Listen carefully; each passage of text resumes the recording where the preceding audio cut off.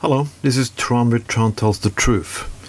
Again, I must say something nice about conservatives that they're good to make up new names on things. Like after 9 11, when they didn't like that the French are criticizing them, they said that French fries now should be called freedom fries.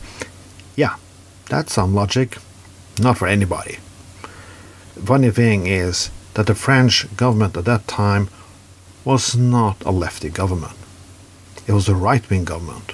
The left wing government in Denmark or in Britain, they supported Bush. But again, they make up new names. They make up new names on Social Security. They call it Obamacare, or like the healthcare plan was Obamacare. Like, if you just call it little sissy bullshit, like soft things, maybe it doesn't look so appealing. Now they do something else. They are not like unions. So they're making bills called the right to work. Yeah, the right to work, because unions usually fight against people's right to work. No, they fight the right, the right of workers to get fair pay and not work themselves to death, because that's what the conservatives really want. They don't want ask people, don't want people to ask questions. They want to work themselves to death, and they want to earn nothing at all.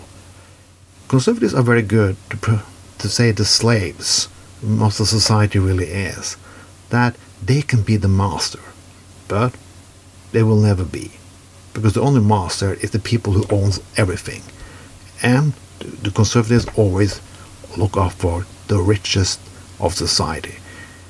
I never seen tax cuts benefit anyone else than the people on the top. Never, never. If tax cuts benefits me or the normal worker who work eight to nine hours each day, I would have a better life than I have today. I have a better life today, not because they were, I was working overtime three, four, more than I should. I am wealthy and good today because we have strong unions and I have a strong union in my back. Rich people, CEOs, will never give you fucking anything. The right to work bill is just a name calling on something bullshit. They don't like unions because they don't like people standing up against them. They don't like black people to vote. They like like women and they don't like gay people. That's the fucking truth. It's always been and it always will be. They can always call bullshit like moral majority or Christian family fucking values or everything like this. But they don't. They need something also to distract things from reality. Now we have school shootings, kids getting shot. No, they don't talk about that. They don't at all. Environment is in tragic state. No, they don't talk about that. They, what they are talking about are like young people should not see drag queens or the right to work fucking bullshit bill. Conservatives are always full of shit. They're getting more and more full of shit.